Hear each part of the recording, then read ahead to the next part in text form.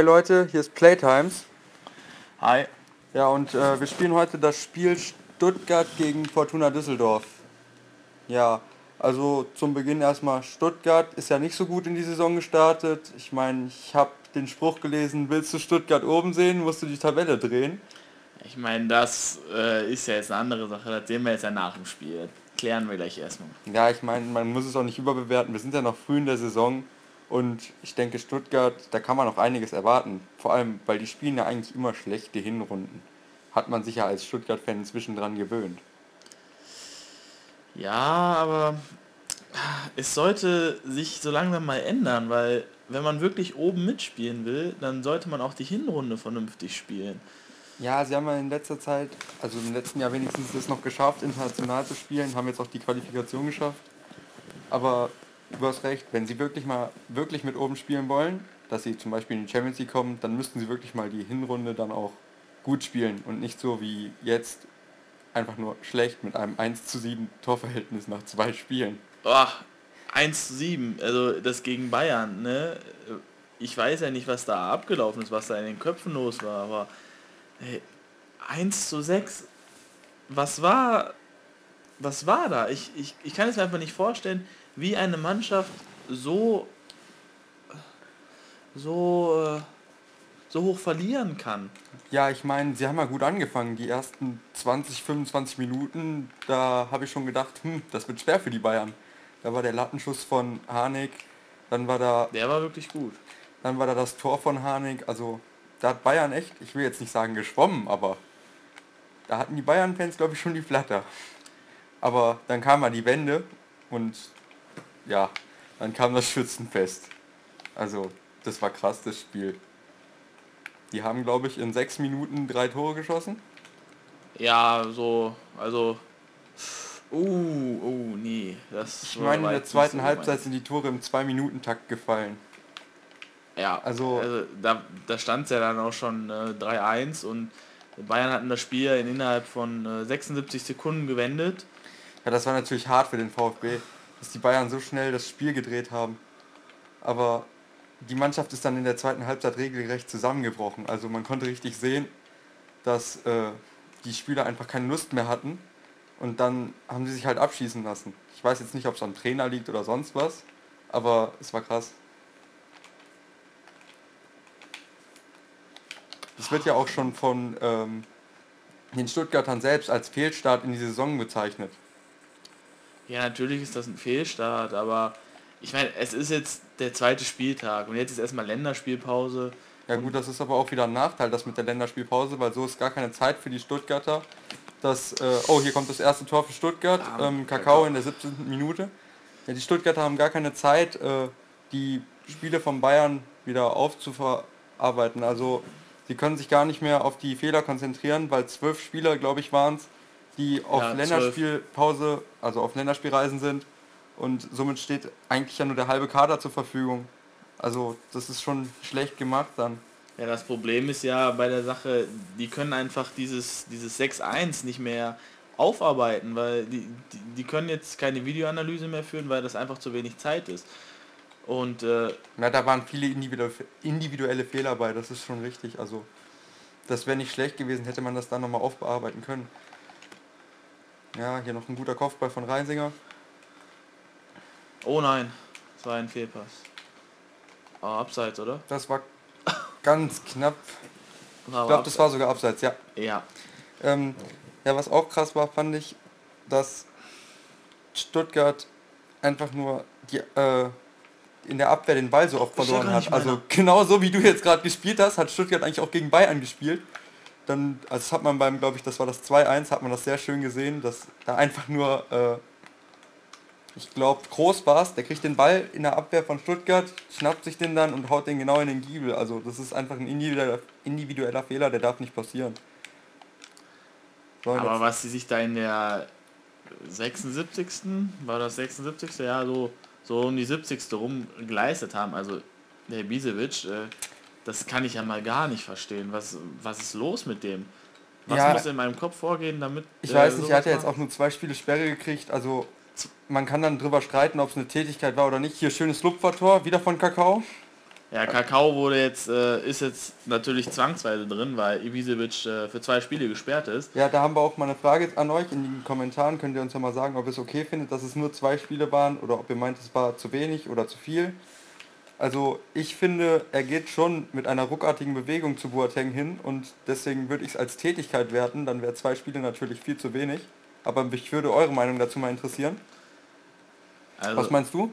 Ja, ich finde äh, auf jeden Fall, dass der länger als zwei Spiele gesperrt sein sollte, weil äh, ich meine, es ist natürlich Frust da, ne? Aber das, dann, kann man natürlich verstehen, wenn man 6-1 verliert, dass man dann gefrustet ist. Aber sowas dann da zu machen, das, das muss echt nicht sein. Und ich, ich finde allein mit der Ta äh, für die Tatsache, dass, äh, dass er ohne Grund einfach drauf geht, sollte er schon mindestens äh, länger als drei Spiele gesperrt, äh, ja, länger als drei Spiele gesperrt sein.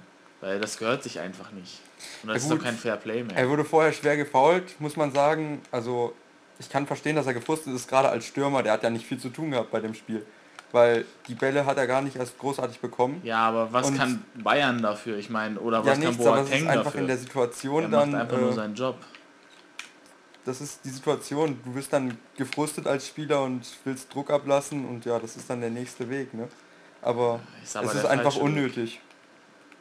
Du schwächst ja auch deinen Verein damit. Ich meine, er, spielt, er fehlt jetzt zwei Spiele und ich weiß nicht, ob das für Stuttgart so gut ist.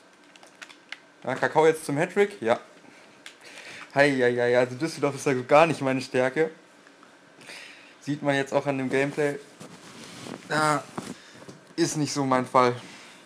Also im ersten Spiel hat Stuttgart ja auch schon 1-0 gegen Wolfsburg verloren, wobei das war ein wenig unglücklich, fand ich, weil die hatten auch wirklich Chancen, mit Ibisevic ja. zum Beispiel.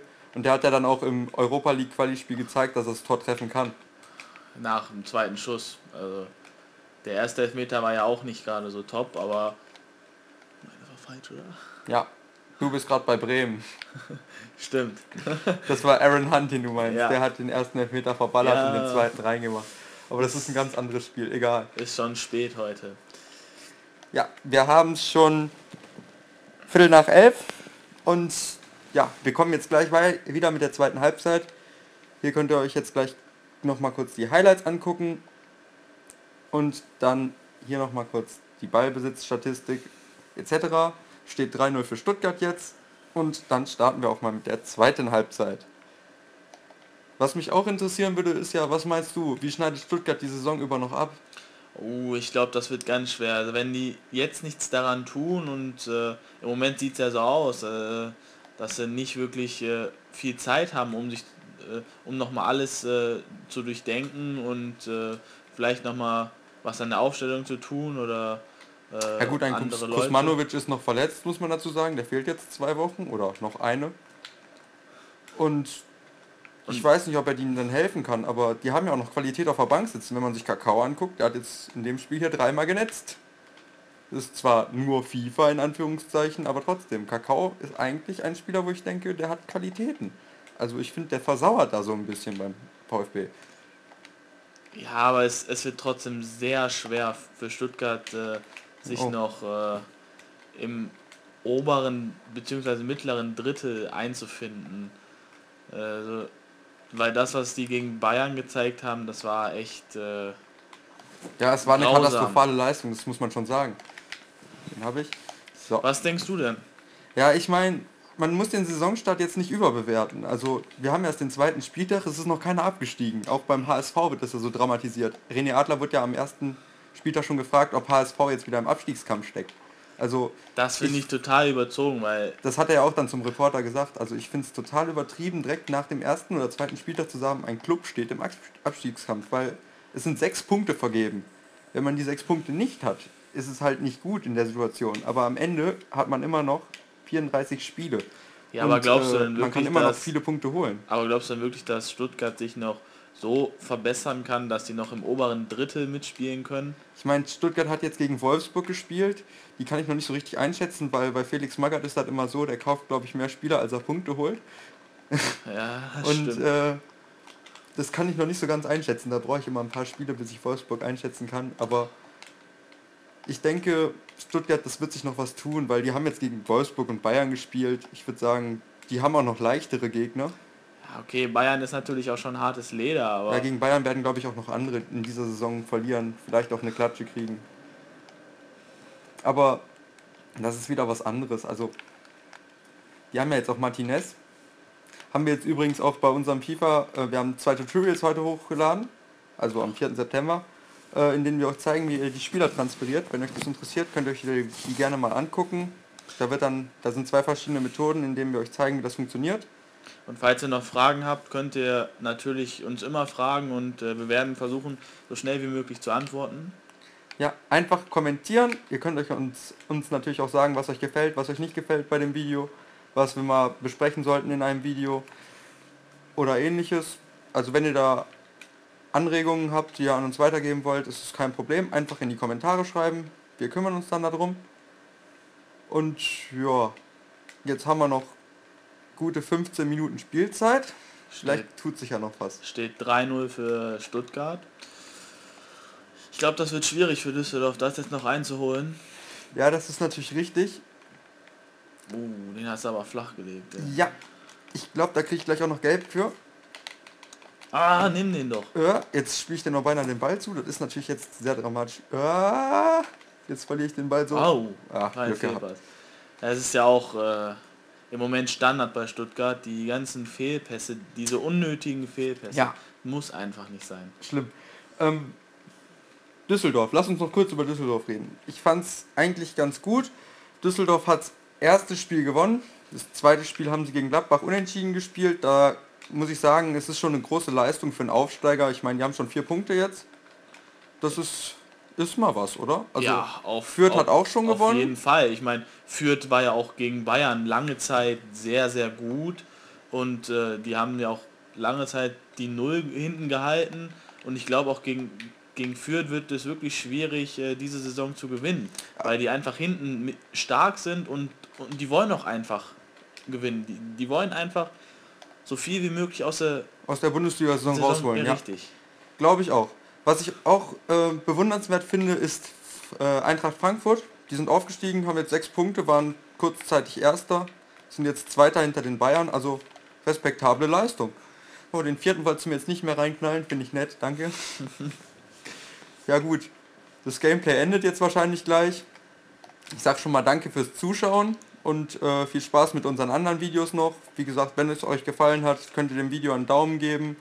Ihr könnt uns in den Kommentaren sagen, was euch nicht gefallen hat. Wir gucken dann, dass wir es verbessert kriegen. Und ja, dann danken wir euch fürs Zusehen. Willst du noch was sagen?